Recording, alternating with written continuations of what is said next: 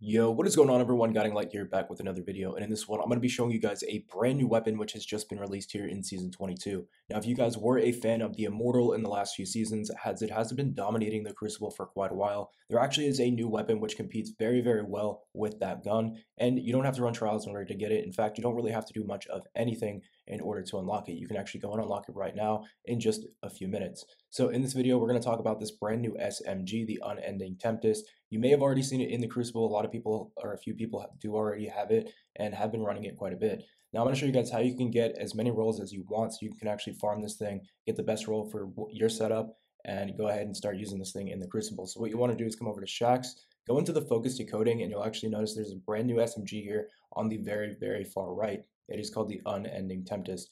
Now, when we take a closer look at this SMG, you'll notice that it is actually a stasis, which is insane. And if you read the description of it, it says, now it's worse and it's here to stay. So I don't know if they're hinting at something like the Immortal with that, but either way, guys, this is how you're going to be able to claim this. So as you can see, just getting something as basic as a Crucible Engram, some shards, and Glimmer, you can actually farm this thing as many as times as you want. So you can get Crucible Engrams by simply just running Crucible matches. Remember to also pick up those bounties, put on the Ghost boost and XP boost and stuff like that. And if you run comp, you're going to get a bunch of score. I do think you actually get bonus score for running Crucible Labs as well. So if you really want to pick up a lot of these engrams while playing casually, I do think that would probably be your best bet. Now, once you do get your hands on enough of these Crucible engrams to start getting them to drop as much as you want, there's a few different things you may want to look out for on the rolls.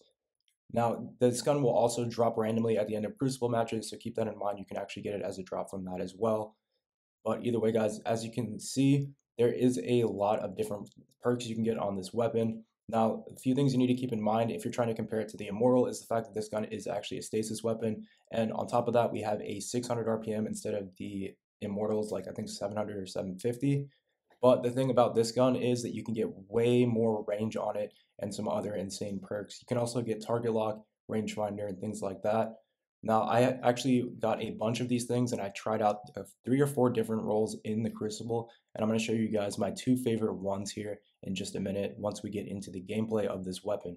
Now, the Immortal is going to have much more handling than this weapon will, but because of this weapon's fire rate and its increased stability and range in comparison to the Immortal, I actually like this a little bit more than the Immortal just due to the fact that it is a bit more accurate because it doesn't shoot as fast, I do seem to be able to land more of my shots. And you can be a little bit further than the Immortal and still get kills very, very quickly. So I'm going to show you guys some gameplay of it here and show you guys the two different weapons that I ended up liking the most. So the first one I ended up going with is this one here with Shot Swap and Frenzy. It also has one quiet moment. I put the counterbalance stock on it and put some mods on as well just so you guys know what I'm running. So I did put one stasis targeting and one stasis unflinching. So the reason I went with this SMG first and over some of the others is due to the fact that it actually has 83 range on it. So I want to see just how insane and effective that can be. Now, after using it for a bit of time, I realized that range isn't as important I was I was thinking it was going to be. And some things that I found to be uh, just a little bit more important was the stability and a little bit of the handling. So it's not to say that it's bad. The 83 range definitely does help, and it gives you an extra foot or two of range where you actually can get kills. Now, one thing that I did like about this gun over the Immortal, like I was saying earlier, is that it is a lot more accurate. Now, you'll notice that I get a ton of headshots with this weapon, but when I go for the longer range kills, like right here, you don't really have enough range to get the kill or even really compete, even with the 84 range.